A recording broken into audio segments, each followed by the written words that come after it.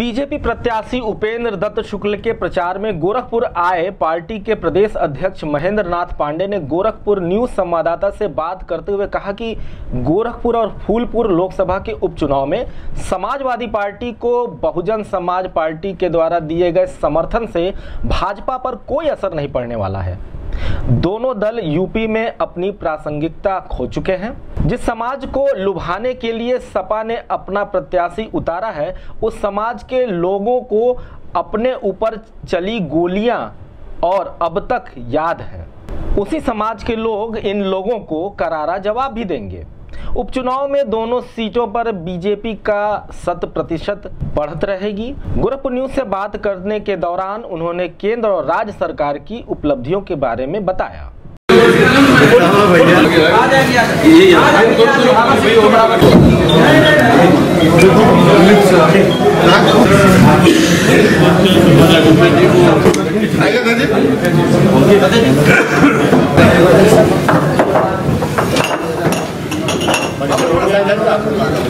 दुर्गेश जी जी। दुर्गेश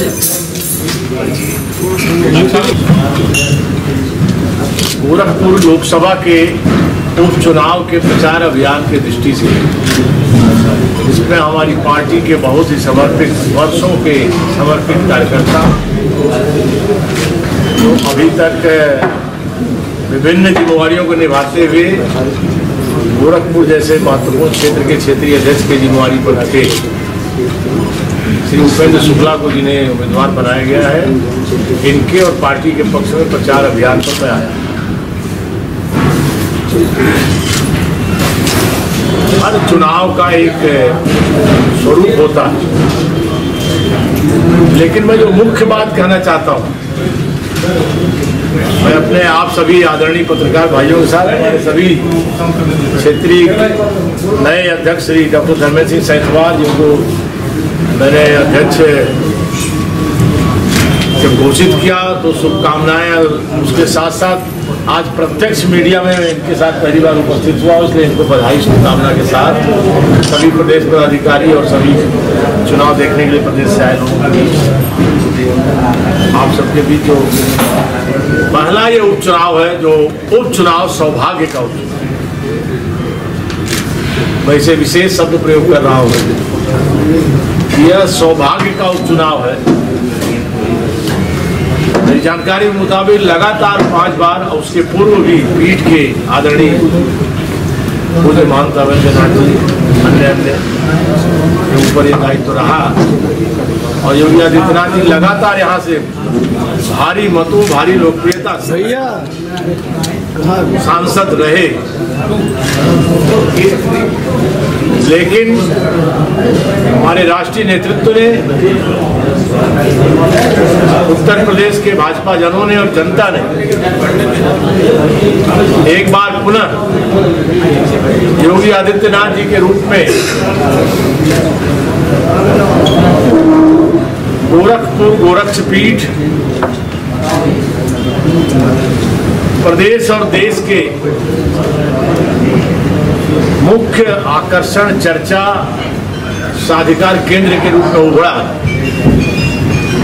और गोरखपुर के इस सांसद को ये सौभाग्य प्राप्त हुआ कि देश के सबसे बड़े राज्य के मुख्यमंत्री के रूप में उन्हें जिम्मेवारी दी गई, जिसे वो बखूबी प्रतिष्ठा के साथ विकास की तेज़ी के साथ निभा रहे हैं।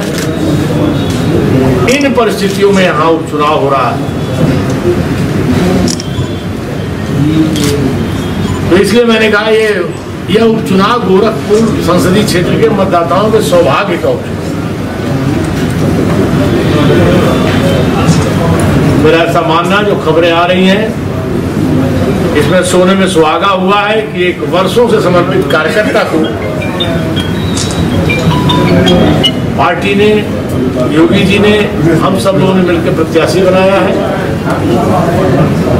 उसके अनुकूलता है कि पिछले मत प्रतिशत से भी ज़्यादा मतों से जीत की।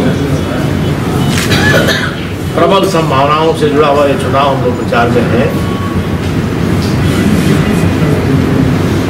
गोरखपुर के मतदाता इस बात को अच्छी तरह महसूस कर रहे हैं कि जहाँ केंद्र की सरकार ने, सरकार में आते जिन चीज़ों को लोग भूल गए थे जिस जमीनों के कॉलोनाइजिंग के तैयारियाँ शुरू हो गई थी फर्टिलाइज़र की ज़मीन का, वह फर्टिलाइज़र एक अभिनव प्रयोग करके देश की तीन अग्रणी नवरत्नारियों जिसके लिए योगी आदित्यनाथ जी और पूर्वांचल के अनेक सांसद सदन में लगातार आवाज़ बुलंद करते रहे लोकसभा के अंदर और विभिन्न मंचों पर। लेकिन पीछे की किसी सरकार ने इसमें कोई सार्थक पहल नहीं की। शहर हमारी केंद्र सरकार ने एम्स की स्थापना गोरखपुर में की। वो एम्स गोरखपुर ही नहीं, पूर्वी उत्तर प्रदेश और पश्चिमी बिहार का एक बहुत बड़ा स्वास्थ्य उपक्रम शुरू हुआ। राज्य में सरकार में आने के बाद किसी की कल्पना में नहीं थी कि पिपराइज चीनी मिल शुरू हो जाएगी। और मात्र अभी एक बरस से भी लगभग पंद्रह दिन की अवधि बाकी है। साढ़े ग्यारह महीने के अल्प कार्यकाल में लगभग छह सात सौ करोड़ की विकास संबंधी परियोजनाएँ पीडब्ल्यूडी, सिंचाई, विभिन्न क्षेत्रों की केवल गोरखपुर संसदीय क्षेत्र और उससे आसपास के इलाकों को मिली। कितने करोड़।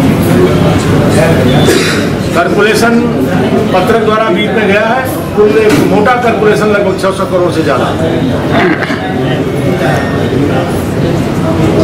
और अभी हाल में जो बजट घोषित हुआ है। जिसमें सबसे बड़ी परियोजना पूर्वांचल एक्सप्रेसवे। लगभग स्टार्टिंग में ही 2000 करोड़ से अधिक की परियोजना।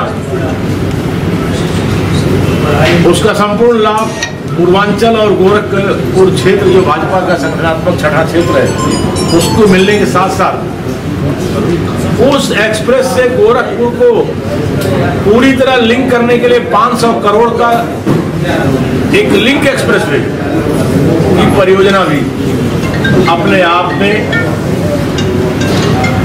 आदरणीय मोदी जी की जो सोच है, पश्चिमी भारत एक विकसित भारत के रूप में है, पूर्वी भारत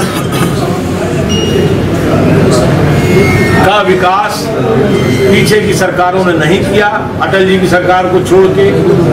और राज्य में हमारी तीन सरकारें जब थी, कल्याण सिंह जी, स्वर्गीय राम प्रकाश गुप्त और राजनाथ सिंह की, उस जमाने को छोड़ के सबने नारे गढ़े, भाषण दिए, जाति समीकरण फिट किए।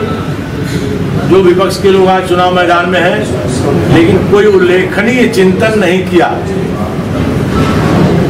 आप कल्पना कर सकते हैं कि मात्र साढ़े ग्यारह महीने के कार्यकाल में राज्य सरकार ने जो सौगातें दी है, और लगभग पौने चार साल के कार्यकाल में केंद्र सरकार ने जो सौगातें दी है यह अपने आप में मोदी जी की परिकल्पना, अमित शाह की रचना, और योगी जी का कुशल, कारगर कदम, अपने आप पूर्वी भारत के विकास का जो एजेंडा है आज के आधुनिक युग के सबसे बड़े नेता देश और दुनिया के मोदी का, उस एजेंडे को धार देने के लिए जब तक पूर्वी उत्तर प्रदेश को संपूर्ण भारत के मुख्य बराबरी में नहीं लाया जाएगा, विकास की कहानी पूरी नहीं होगी। उस कहानी को समर्पित यह हमारा गोरखपुर का उपचुनाव है। हम विकास के मुद्दे पर लड़ रहे हैं। और जन विश्वास विकास के मुद्दे पर कायम है। उसका प्रतिफल कल के चुनाव में पूरे देश में प्राप्त हुआ है। सेवन सिस्टर स्टेट पूर्वोत्तर भारत में है। इसमें कल के प्रतिफल के फलस्वरूप हम सात सिस्टर राज्य जो थे, उसमें पाँच राज्यों में काबिज हो चुके हैं। ये अपने आप में भारत के विकास की जो बड़ी परिकल्पना है, हमारी पार्टी की, हमारी केंद्र राज्य सरकारों की, उस परिकल्पना को गोरखपुर चुनाव उपचुनाव के मतदाता फूलपुर उपचुनाव के मतदाता, पूरी तरह से भारी मतों से भारतीय जनता पार्टी के प्रत्याशी को जिता करके श्री उपेंद्र शुक्ला जी को यहाँ और श्री कौशलेंद्र सिंह पटेल को फूलपुर में हमारी पार्टी और प्रदेश की सरकार, देश की सरकार का जनता का हौसला बढ़ाएँगे। मेरा ऐसा भरोसा है। मेरी तरफ़ से आप सबको होली की शुभकामनाएँ चल रही हैं अभी भी।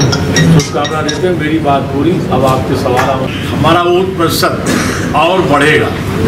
कारण स्पष्ट है। क्योंकि जिस समाज को ये लुभाने के लिए प्रत्याशी लाई उस समाज को उनके ऊपर चलाई गई गोलियों की कसक आज भी याद है। और उसका जवाब वह जनता जो गोली के दर्द को झेल के सह जाती है, उसे याद रखती है, ये भारत है, समय पर उसका करारा जवाब देती है, और यह उपचुनाव में वह निषाद समाज और तमाम ऐसे समाज के लोग जो पीड़ित हुए सपा की सरकार में, उसका इतना कड़ा जवाब देंगे जिसका अंदाज सपा के अध्यक्ष और उनके अन्य लोगों को नहीं होगा। मतगणना के बाद पता चलेगा। ये जाने कि यह साथ अपने आप में ऐसा बेमेल साथ है जिसमें कोई मेल की संभावनाएँ नहीं। और दोनों अपनी प्रासंगिकता उत्तर प्रदेश की राजनीति में बहुत खो चुके हैं, बहुत हद तक कमज़ोर हो चुके हैं। भारतीय जनता पार्टी उसके समर्थक और प्रदेश की जनता जिसने हमें अवसर दिया है, उसके मनोबल पर कोई प्रतिकूल असर नहीं पड़ रहा है, बल्कि मैं ऐसा मानता हूँ कि इस तरह की जो थोड़ी सी चर्चाएँ आई हैं, उससे भाजपा का मतदाता वर्ग और दोनों उत्साह से मत करेगा ताकि कोई कसर बाकी न है, इन्हें एक पुराने चेकअप के लिए जाना पड़ा। समय समय पर कभी कभी ऐसी परिस्थिति उत्पन्न हो जाती है।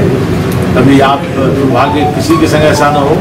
कभी कभी कोई पुरानी चोट अचानक वर्किंग प्रेशर से उसका दर्द उभरता है उसके मेडिकल चेकअप के लिए गए थे दो दिन मेडिकल चेकअप करा करके और ऐसे समय होली के त्यौहार में गए ताकि प्रचार की अवधि कम से कम नुकसान हो और आपके सामने प्रचार अभियान आप आपकी प्रेस में उपस्थित सर बात हाउस सांसद का आरोप लगा था ज़मीन कब्जा करने का। बात हाउस सांसद जी पर आरोप लगा था ज़मीन कब्जा करने का इस पर क्या सांसद यहाँ है। है आरोप प्रत्यारोप का जवाब सांसद ने दे दिया है।